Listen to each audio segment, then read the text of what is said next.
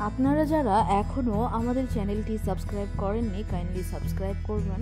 আর হ্যাঁ নতুন নতুন আপডেটের জন্য আপনাকে পাশের বেল আইকনটি প্রেস করতে হবে। সুখ টাকায় কেনা যায় না, তবে প্রয়োজনীয় সুখের জন্য কিছু অংশে আর্থিক সচ্ছলতার স্বপ্ন অনেকেই দেখে থাকেন। আর সেই স্বপ্ন থেকেই আর্থিক সচ্ছলতা ঘরে তুলতে পরিশ্রম করে থাকেন। শাস্ত্র বলছে, পরিশ্রমের সঙ্গে যদি কয়েকটি যোগ্যাভ্যাস করা যায়, তাহলে কাটতে পারে আর্থিক মন্দার সমস্যা।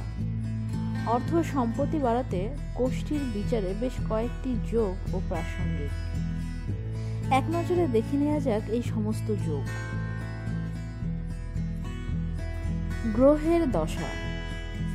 একজনের আর্থিক পরিস্থিতি কেমন যাবে তা অনেকাংশে নির্ভর করে তা আর্থিক দশার উপর।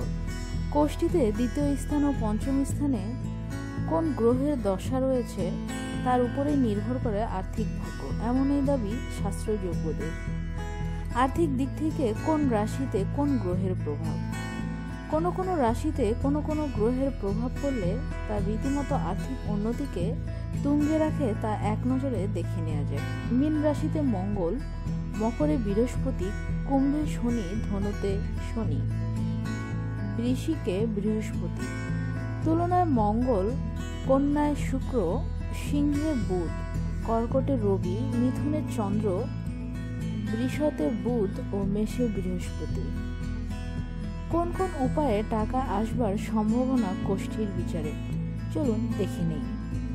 যদি কারোর কোষ্ঠীতে চন্দ্র পঞ্চম স্থানে থাকে, তাহলে লটারিতে টাকা আসবার সম্ভাবনা প্রবল। এই অবস্থানে সেই ব্যক্তির অর্থ বিষয়ে সমস্ত সমস্যা দূর করে থাকে। যদি দ্বাদশ স্থানে বৃহস্পতি থাকে, তাহলে আর্থিক রোজগার চরমে রাখা কাউকে রোখা যায় না। যদি চন্দ্র গোষ্ঠীর বিচারে সপ্তম স্থানে থাকে, তাহলে সেই ব্যক্তিকে কিছুতেই আটকানো যায় না আর্থিক উন্নতি থেকে।